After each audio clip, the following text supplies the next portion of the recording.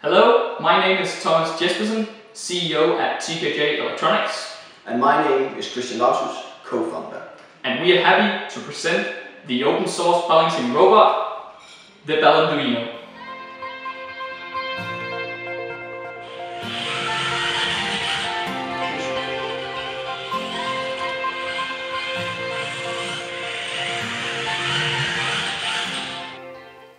The Balanduino is an Arduino compatible balancing robot. And as you can see, it consists of some different parts. Mainly, we have the three layers of laser cut plywood, each assembled with a solid and strong steel rod.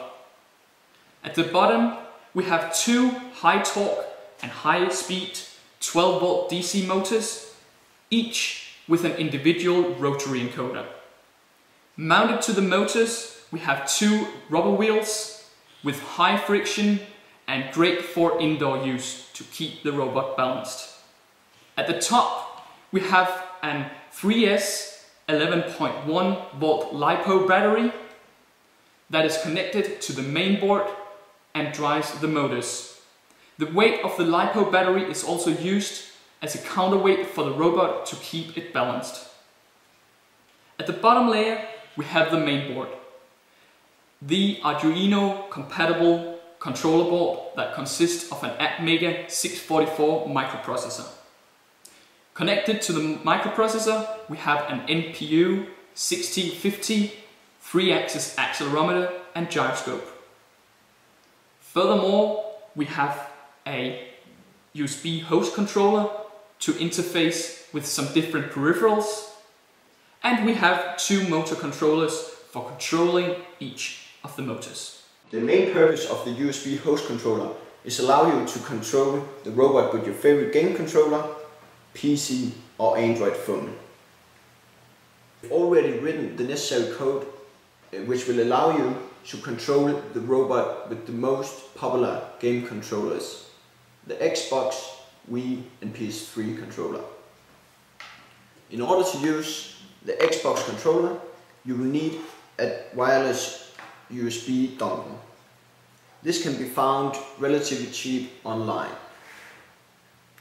To use either the Wiimote or the PS3 controller, you need a Bluetooth dongle which will be, included in the kit for free. The PS3 and Wiimote can be used at the same time using the same Bluetooth dongle. Furthermore, we have written a PC application in Java compatible with both Windows, Mac and Linux. We have also written an Android application to go with the kit so you can easily both remote control the robot and adjust some different settings.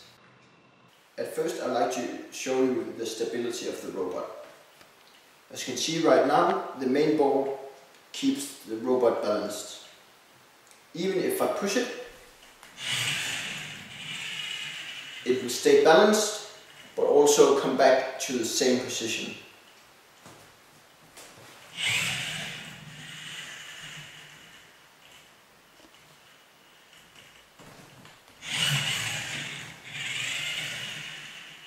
Now I'd like to show you the different ways you can control the robot. First, I'd like to show you how you can control it with a PS3 joystick. The right joystick controls the right motor and the left one controls the left motor. If you push them both forward, it'll drive forward. If you push both of them backwards, it'll drive backward and stop again when you let go. If you push them in the opposite direction, like this, it, it will go left. But if you do it the other way, it'll drive, it'll turn right. Okay, let's try it.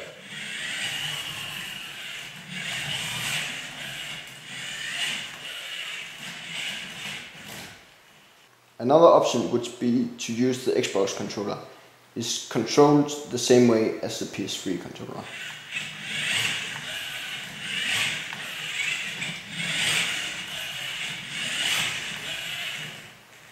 A third option would be to use the IMU built into the Wiimote like this. You simply tilt it forward to drive it forward and tilt it backward drive it backward. And tilt to the side to drive to the side while you press the B button. You can also connect a Nunchuk and then control it with the joystick. Like this. And finally, we have created an Android application to ease the control and setting of the Balanduino. The first way to control it is by using the IMU inside your phone. You simply tilt forward or backward or sideways to control a robot like this. The second option is to use the joystick. As you can see, it works just as on any of the game controllers. It's also possible to see the live data from the IMU on a nice real-time graph.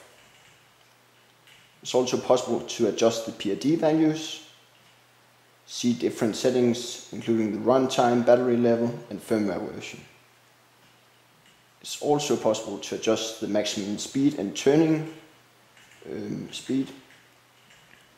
And finally, you can pair with a new Wiimote and restore the default values.